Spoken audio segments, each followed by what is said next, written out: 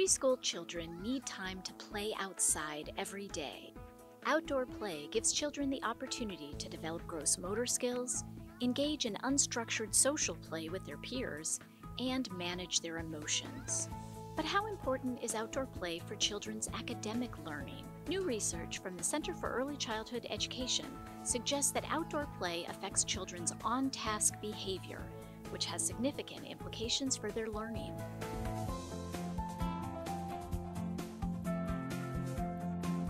On task behavior uh, at least for older children, has been found to be associated with academic achievement, self regulation, attention, working memory, things that are really important to learning. There's one brain study that finds that a single dose of activity for older children has an impact on their brains. Children immediately after a single bout of exercise were more on task in their interactions in a group time setting.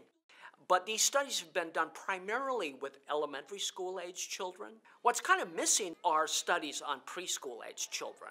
My name is Allison Lundy. I'm a psychology and early childhood education double major, and for my thesis, I looked at the effect of outdoor play on children's on task behavior during group time.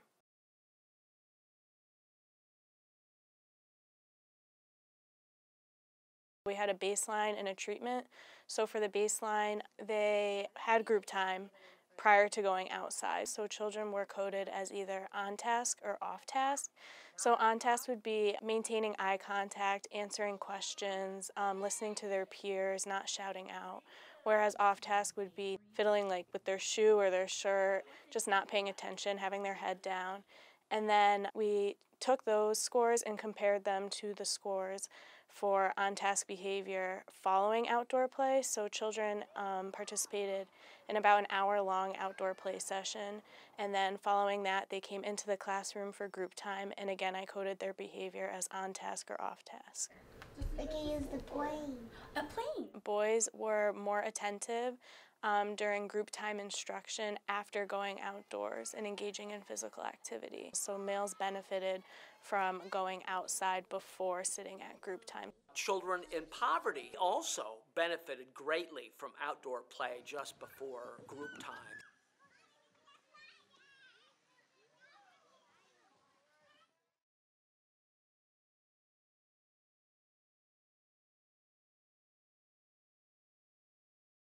For the second part of the study, I looked at the effect of the level of physical activity on their on task behavior. So that was um, measured one to three, one being low physical activity, so that was just like limb movement, so their body wasn't really moving.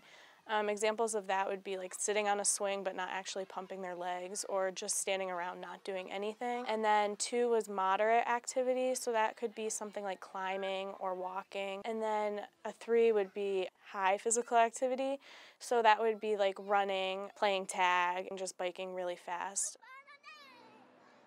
So we found that the more active children were, the more on task they were during group time. They were better able to control their impulses and um, self regulate.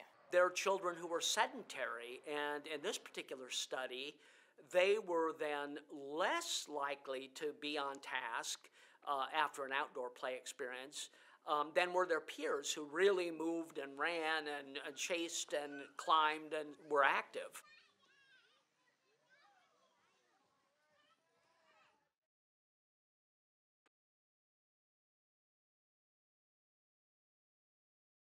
There's a lot of research that talks about the boy crisis and how boys are really at risk for a number of reasons, but one of them is self regulation. They tend to develop self regulation um, more slow than girls. Um, they just have a harder time paying attention and kind of controlling themselves when um, listening to a teacher.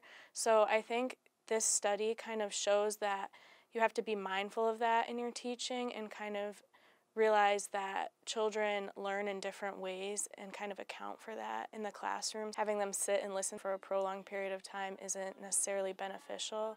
So providing movement breaks to help children um, get their energy out and stay on task. Cutting how long recess is is kind of counterproductive in a way because children need to go outside and kind of recharge and um, just get moving.